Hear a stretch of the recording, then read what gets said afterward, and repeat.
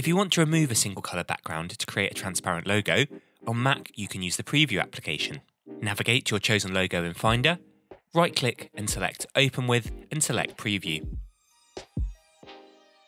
Click on the Show Markup Toolbar option and this will open a new toolbar where you will need to select the Instant Alpha tool, whose icon looks like a magic wand. Left click on an area you wish to remove the background colour of and slightly drag the mouse. This will select an area in red. Release the mouse and your selected area will be chosen. You can then hit the backspace key to remove this area.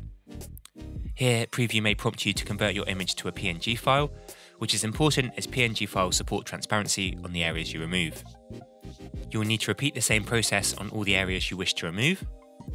And once you have removed all your chosen background, save your image as a PNG file, and you can then add your logo into your edit and the background will stay transparent.